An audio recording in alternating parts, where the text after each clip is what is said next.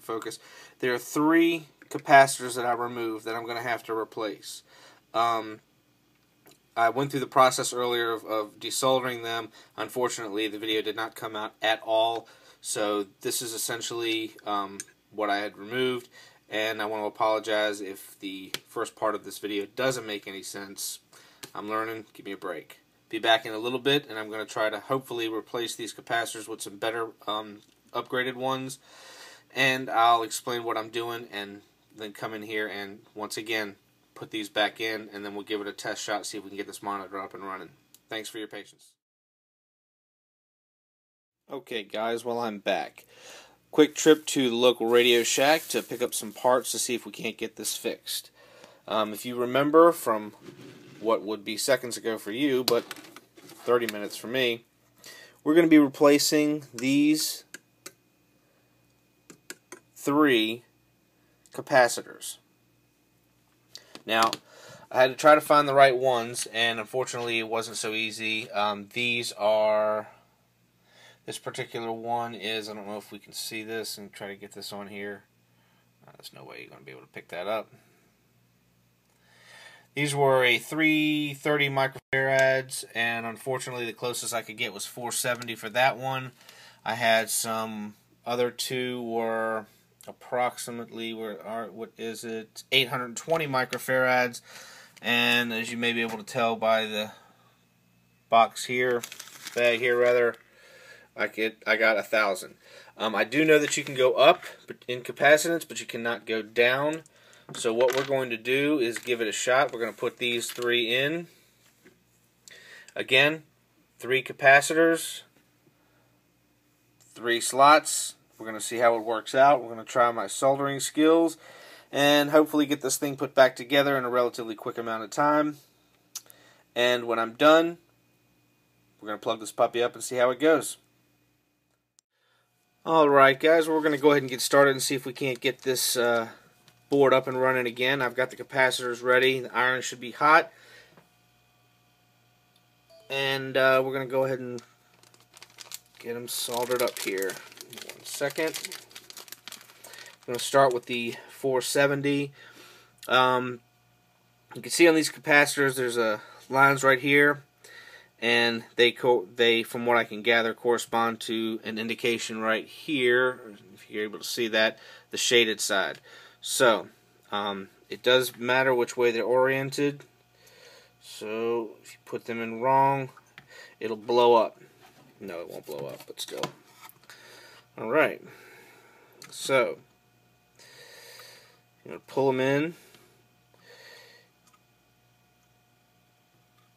give the legs a little bend here. So, right here, put the tip on one side, let it heat up a second, feed the solder in from the opposite,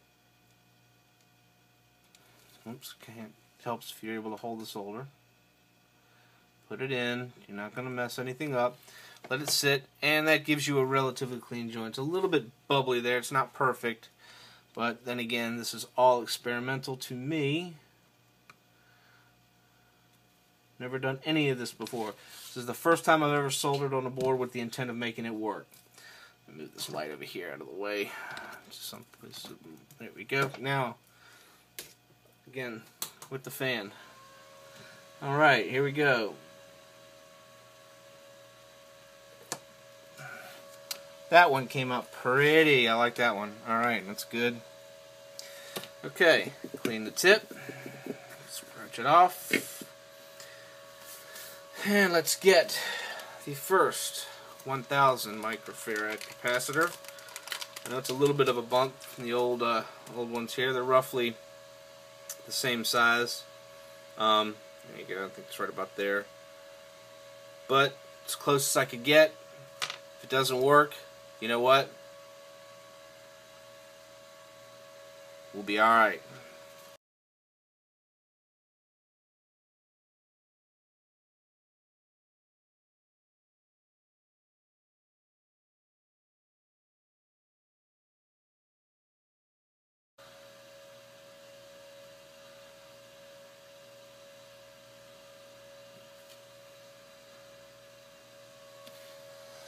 There we go. I'm moving the light around. I hope this is not jacking anything up too terribly bad. Last one.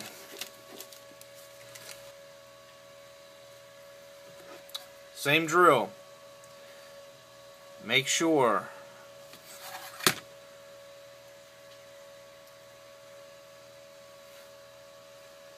minus is on the right side.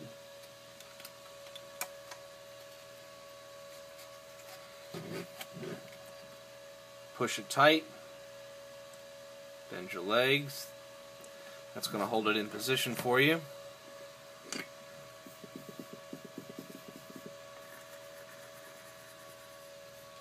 Let me check my tip here, getting a little dark.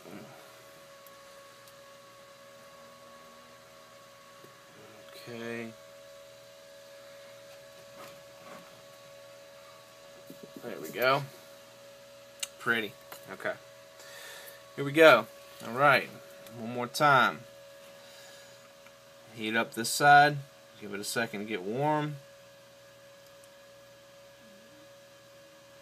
Whoops. Come on. There we go. Ah, terrible. Gotta work.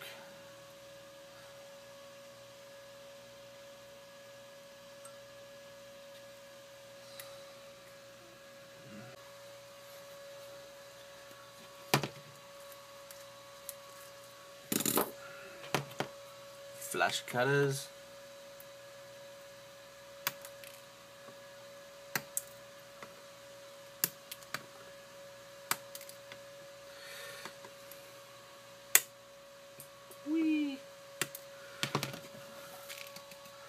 All right.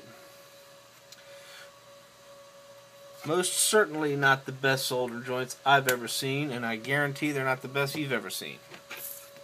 But you know what? I think it might work. Let me rephrase that. I think it could work.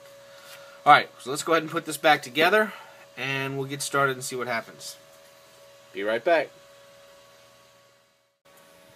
Okay.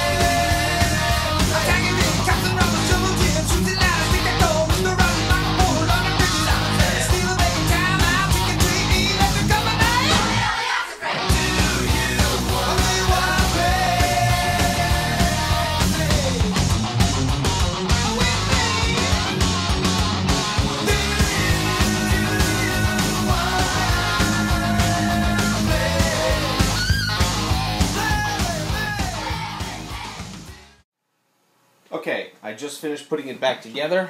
We're going to give it a shot and see what happens. If all goes well, it should come on without a problem. Samsung 204 B SyncMaster with brand new capacitors. Cross your fingers. Alright, it works. Excellent. Excellent.